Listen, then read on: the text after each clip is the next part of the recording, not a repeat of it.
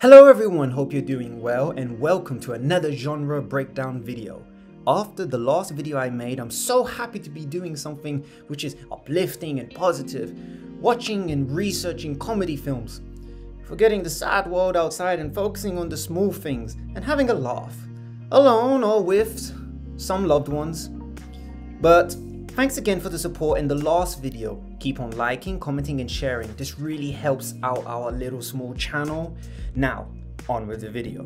Before we talk about the types of comedy and how the genre of comedy evolved in cinema, we need to take a journey all the way back to the year 388 BC to 425 BC, the time where Aristophanes was one of the leading playwrights of ancient Greece. You could say that it was around this time we begin to see the early stages of comedy. Aristophanes' stories usually involved character or groups of characters who is obsessed on something, mostly dark or life denying or changing, while the others or friends or groups represent life, liberation, and truth. An example is the story Lysistrata, an anti-war feminist story about the housewives fed up with their husbands constantly leaving due to their love of war, while they have to do all the hard labor back home or on the farm. All the wives plan a scheme to leave, even when their husbands return from battle. They will do absolutely nothing for them, including activities in the bedroom or is it barn? This leads into some confusion and arguments until the husband recognizes that they were ignoring their true priorities, their loving wives and family. This leads to the final scene as each man is reunited with their other half and go on a joyous, eventful evening. Using this story, we can see how Aristotle was using comedy to show an important message, a message still being seen and used today the transition of ignorance to knowledge. Now, moving forward almost 2,000 years, we hit the silent film era where comedy was the most common seen genre due to its adaptability and versatility, or versatile nature. The silent film era used mostly visual gags. Some of the earliest films found of comedy was around 1895, but it was in the early 19th century that we saw early Hollywood shine and the birth of slapstick comedies. Thanks to Keystone Studios, which was created by Keystone Mac, his studio for almost a decade would produce and create some of the most iconic films and stars, including Charlie Chaplin. Chaplin would star in his debut film Making a Living in 1914. Later on, we would see comedy legend Buster Keaton make his mark with his films such as The Butcher Boy and Old Doctor. Now, picture this. World War II has just ended and sound is commonplace in films. And some of the most iconic movie cinema characters in cinema history is taking center stage. Welcome to the 1950s. In this era, there were a range of comedy types, from simple spoofs to the dramatic character driven comedies. So you could get films such as Marilyn Monroe's and Tony Curtis and Jack Lemmon's Some Like It Hot, to one of my favorite films of all time, The Apartment, with another man, you did the only decent thing. I wouldn't be too sure. Just because I wear a uniform, that doesn't make me a Girl Scout. Miss Kubelik, one doesn't get to be a second administrative assistant around here unless he's a pretty good judge of character. Which is a much darker story of reaching to the top, playing the corporate game, and falling in love with someone who may never share the same feelings you have, or as much as you.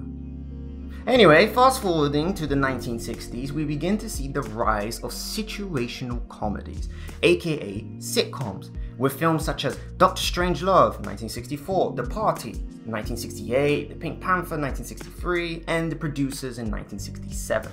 What they all share in common is this theme of the characters being in unusual situations. We'll be asking the questions, old man. Who are you? You. No, not me, you. Yes, I am you. Just answer the damn questions. Who are you? I have told you. Are you deaf? No, you is blind. I'm not blind, you blind. Due to a misunderstanding or problem, leading them on this journey to solve that problem. But don't forget, with all comedies, there is a transition of ignorance to knowledge. A perfect example could be The Proposal. That's a romantic comedy, a rom-com. So how is that a situational comedy? Well, the answer is it isn't, but romantic comedies share very similar traits. You see, we have a protagonist who usually lives this perfect life with their perfect job, who then meets this lovable counterpart who is completely different to the protagonist, who then teaches them something about life. Or teaches them something life changing, which helps them fall in love.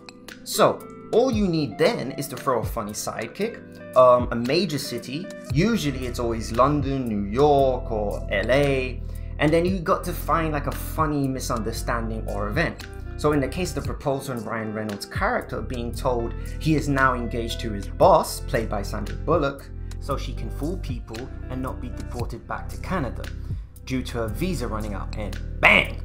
You have yourself a romantic comedy with some elements of a sitcom. So is there anywhere else we can look to to explain the comedy genre further? If there was only one man that could help us, and there is, his name was Shakespeare. And you heard me right. The man actually wrote quite a few comedies in his time, and to some professors, he even changed it and even added to it. Shakespeare comedies were not trivial or light-hearted. They were comedies due to the shape of the actions the characters or group of characters performed. So the structure of a Shakespeare comedy plot would start with a problem. In between the five acts, they would come to a resolution, harmony, and union. He wrote very short but funny plays like Measure to Measure and Midnight. But the important thing about his plays is they were realistic. The characters felt like real people. So when the audience was laughing, it was not at the characters, it was with the characters. So with that in mind, we can use this concept to explore comedies in the 21st century.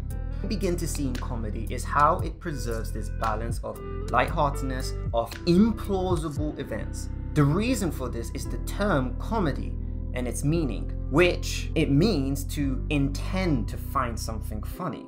It's basically a tool of exposing the state of self-delusion we have as human beings. AKA, we take the piss out of the real world and social norms of society and its ecosystem. Let's take a look at one of my favorite comedy films, Tropic Thunder, starring Ben Stiller, Robbie Downey Jr., and Tom Cruise, and many more. A washed up actor who went full. Full retard, man. Never go full retard. You don't buy that? That's Sean Penn, 2001, I am Sam. Remember? Went full retard. Went home empty handed. Goes to make the greatest fake war film ever made, only to be dragged into an actual war on drugs. The film is basically showing the audience that there is nothing funnier than seeing the sight of someone imagining that he or she has the world under their control when clearly they do not. Another example is a TV series called Fawlty Towers, which was released in 1970. The reason being, John Cleese's character is so funny that it's just watching him desperately trying to preserve the persona as an efficient hotel manager while behind the scenes everything is going into utter chaos. That clash is what makes it so funny to watch because we see someone who believes he has control when clearly it's completely out of his control. So let's summarize. We need a transition of ignorance to knowledge, a happy ending that the hero or heroine enjoys, and the hero and heroine must learn something important. If these conditions aren't met, then this could lead us into a different genre called tragedy, which is also a video that we have on. We'll leave a link in the description below. There we have it, a small breakdown of the comedy genre. I hope this helps you on your filmmaking journey this video took a lot of research, but it was so enjoyable to make. So if you enjoy this type of content, leave a like and comment. It helps us know what you guys want to watch next. Anyway, stay safe. Beijos. Ciao.